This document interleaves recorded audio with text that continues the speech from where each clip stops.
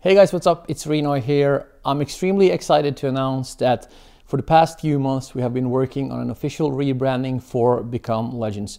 With us going more as an international team, it meant that we needed to find a new skin and new colors that matched our ambitions.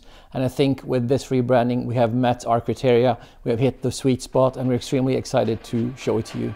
By the way, this is not the only announcement that we have in the coming weeks. We have something absolutely insane Nobody's going to expect it and we can't wait. So this rebranding marks the new Become Legends and we really hope you'll like it.